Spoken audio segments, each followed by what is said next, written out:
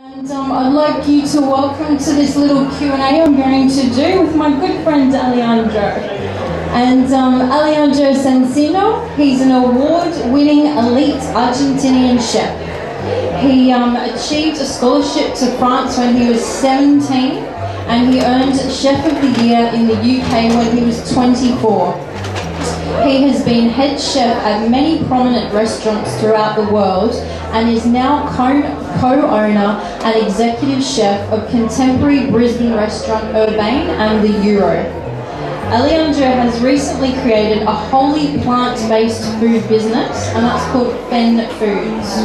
He aims to create delicious vegan products which make people's lives easier when it comes to choosing vegan over animal-based products. Please welcome.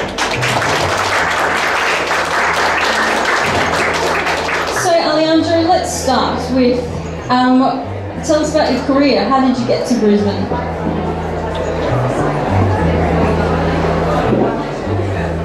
probably around 10 years ago I decided I wanted to come to Australia and if I put uh, a pin on Sunshine Coast so I got very close I basically came to Australia and I, I had an interview to get a job here in Brisbane I'm happy with the decision I made and um, so um, Alejandro works at Urbane Restaurant. Has anyone in the audience been there? Yes. Yes, it's very good. So it's a high-end restaurant in the city, in the CBD.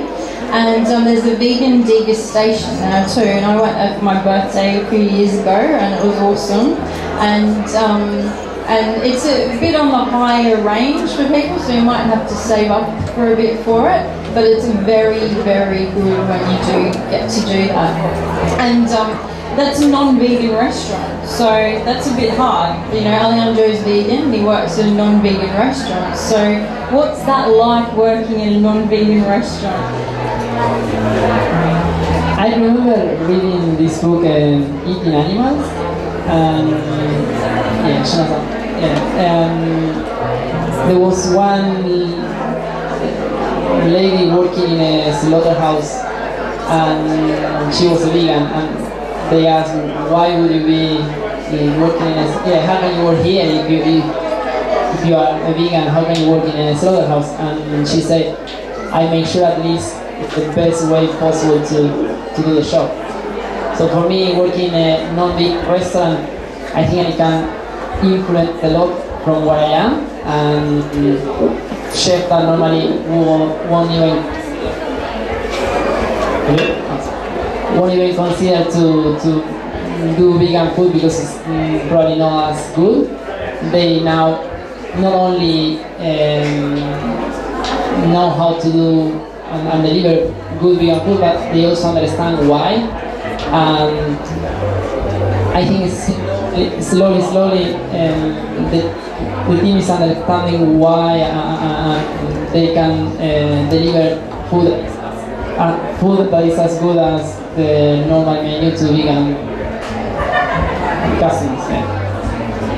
Um, you mentioned before, so that non-vegan restaurants. So most people that go there would be non-vegan. So what's the interaction you have with non-vegans, say eating vegan products, or is you know is it hard or is it easy to interact?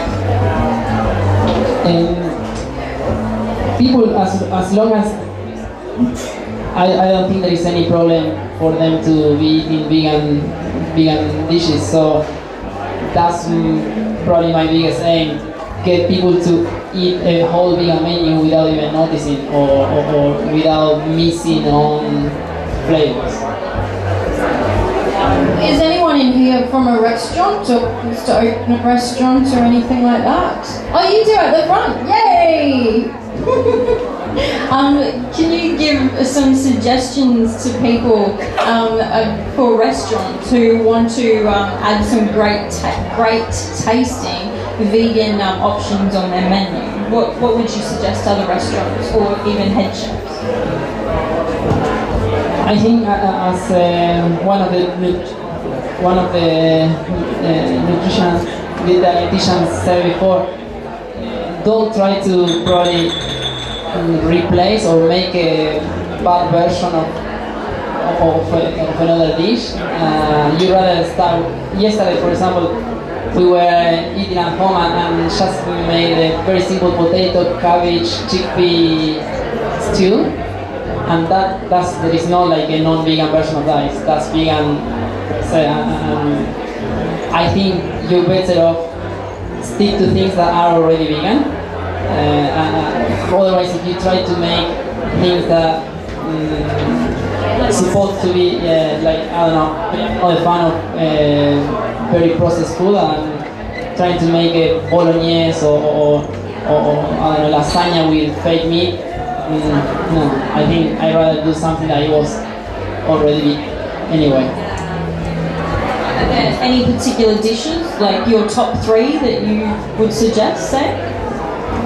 Obviously salads, but most people probably are sick of salad. Um, and I love lentils, and I could be eating lentils, you know, or soups any day. Um, uh, apart from being in the kitchen and eating all the time very tasty and very strong food, um, I think once I'm at home, I rather eat very simple and steamed vegetables or yeah, things like that. Do you get sick of cooking? Does Paula have to do all the cooking or? No, I think we do 50-50, yeah. Yeah, so um, you've got your new business, Fenn Foods. Um, you created, he's created vegan mayonnaise, vegan chipotle sauce, and vegan alioli. And um, it's mostly to food service people, so big quantities. But you've been working on the retail stuff, so that's coming soon. Um, and why do you think it's important to have these products? What made you create? I tried to. Uh, I, was doing um, fundraising uh, a year ago, I think, uh, and we were doing vegan sliders. And I went to a shop and I wanted to get just vegan mayonnaise, and I couldn't find any, or the ones I found were really bad. So I was like, okay, I think there is a market for it. There is um, yeah, a gap there that no one is but today I went to the, fish shop and I, I was amazed of the range of products that are on the market at the moment, but I think there is always, you know, uh, room for better products and that's what I would like to focus, uh, to get uh, vegan products on the market that are as good as the normal one. And um, I was saying about the food service. Can you tell us where you're at with like retail, or where people might be able to buy it soon, or where they can order food service? At the moment, all the uni- um, Griffith University are using our mayonnaise. So if you go there and you order anything that has mayonnaise, alioli, or tartar sauce or chipotle sauce, it's from Fenn Foods and Griffith. Griffith University. Sorry. and retail hopefully will, ready, will be ready within three months. So you will see it on IGAs and other supermarkets. yeah, uh, and yeah, Kale is uh, he has a distribution company and he's the person who help us to get the product on, on these universities or the restaurants, cafes. So yeah, Kale from Plant Based Foods, he's the distributor of Fenn Foods for Alejandro. So if you need some some somewhere, if you know someone who might be able to have Alejandro's stock, just get them in contact with Kale. And um, what? So you've got um, chipotle mayonnaise, alioli, blue cheese. When Alejandro uh, was one of the um, speak, uh, speaking tour I organised for Cruelty Free Super, and um, before the event, you brought in some samples for us to try, and it was pretty. I'm not really into cheese at all, but it was pretty impressive. So you're working on blue cheese next. Do you want to tell us where you're at with that? It's hard to find a manufacturer uh, Uh, that can produce that for us, so I don't know where I'm maybe on standby. But yeah, we are looking, we are trying to look now what's the, what's what, what people want first, instead of coming up with, it, with a product that we don't know if it's gonna sell or not. So now we basically are doing a bit of market research and trying to see what vegans want, you know, and then yeah, start producing that. Uh, ready meals It's a big one, but I, I'm not sure if I want to go into like ready, ready meals, but yeah. That's what I want to get into one day, ready meals actually, but it's like, seems like a big job, doesn't it? and um, I just want you to um, just talk about um, how you find working in a non-vegan restaurant and maybe like, you know, I've seen some people um, comment to Alejandro online about he's not a real vegan or like sort of judgmental things and I personally think you're doing great work because there's certain people that would go to Urbane that would experience vegan food that normally wouldn't. They're not the normal sort of vegan market. So he's, you know, reaching people that maybe some of us can't reach, you know. And there's, like I've said before in the past talks I've just done, we all have to use our skills, our expertise, our passions in the best way we can to be promoting veganism. And I just want you to talk about um, how you deal with this maybe negativity from people when you're trying to do your best. As I said, the restaurant is not vegan, so um, obviously, as much as I can um, influence or, or, get vegan food in the menu, we still serve uh, animal products. Once we had a big dinner and I had a I had a stripe in the front of the restaurant with uh, protest with you know uh, massive signs uh, complaining and I and I just you know I was a bit surprised because no one goes to McDonald's and I, am trying to you know do my best but obviously within a restaurant that is no vegan so I think the change has to be I rather I always think if one person is 100% vegan that's okay. We let's say you have ten people, one of them is vegan. That's good, but I would rather have ten people that eat half vegan. So at least, yeah, you know, in terms of uh, suffering, would be less if the ten cut their meat intake or animal product intake by half. So that's what I'm trying to do in the restaurant by reducing the, the animal products that we use in the, when I started in the restaurant and I can see this on the bills, on, on the mm, yeah, on, on how much we have to pay for meat or vegetables. Now our biggest bills come from vegetables, and, and that's a huge uh, thing. When before it used to be from meat or fish. Now we have very little, and I try to use um, things that are probably um, not very common uh, and that kind of even makes a little bit, bit more interesting, especially with vegetables and seeds and stuff like that. And yeah, that's a that's a good point because we can be really hard on ourselves sometimes, especially if you're like a new vegan, for example, and um, you're trying to do everything, and you're not going to learn everything overnight. There's stuff that you'll learn gradually, and that you can um, adapt whatever you're doing to. And um, yeah, just believe that most people are trying to do the best they can in the best way they know how, you know. And um, what, what's your top tip for um, making a difference in a non-vegan space um, to best help our animal friends? I think you have to um, first not not trying to preach because I, you get then alienated. People alienated, uh, people will see as, you know, the first probably you don't want to talk to. Um, and be normal, and just be, don't, don't, don't stress or don't try to, um, the harder you push, the worse it is. So I think people get more influenced by normal vegans, by people who behave normal and are not trying to be too pushy. Um, how? Why did you become vegan in the first place? Can you share a bit about that story, please? I come across to a video, probably most of you, and I, I was a bit. Um, I, I didn't know if it was the right uh, thing for me because I, I work as a chef and, and with that, this is what I learn and, and it's the only thing I know to, how to do.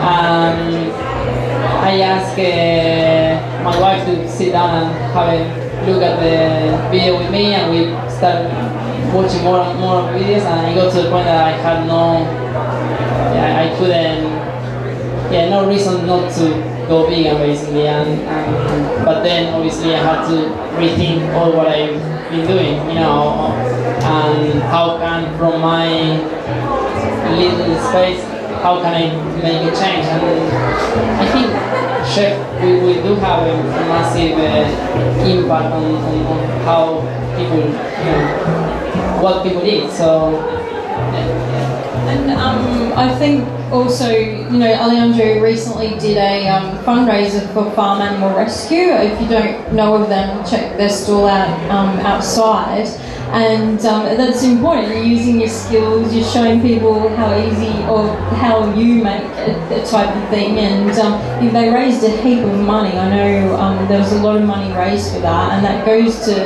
animals who have been rescued, and so they can have a happy life at the farm in Dayboro. Um, so very important. Good job. Gold star. Um, and um, just wanted to say, like, if anyone has any ideas of maybe something Alejandro could create with um, Fenn Foods, are you open to suggestions for people? So, you know, um, Alejandro doesn't like processed stuff. So if you're talking about, you know, processed meats or something, don't even bother with that conversation. But if you've got something else that you'd like to use when you're cooking or you could, you know, your local restaurant could use, um, maybe come up to see him and just mention a few things um, that you'd like, and maybe this time next year might be out in the store. yep. What do you? What What's the rest of the year look like for you?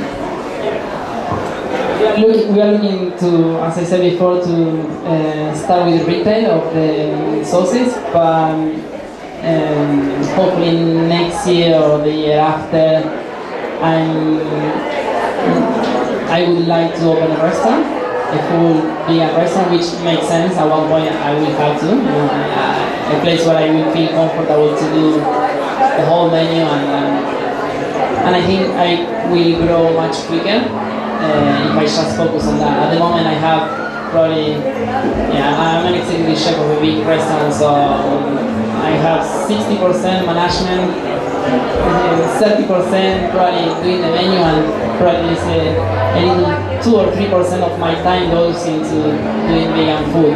If I can put all my attention into vegan food, I will um, come up with things that are a bit better. So.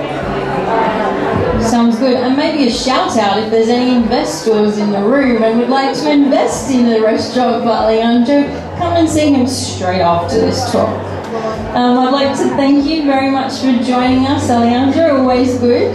Um, and if you'd like to sample some of Alejandro's great meals that he makes, you can see him at Urbane or the Euro.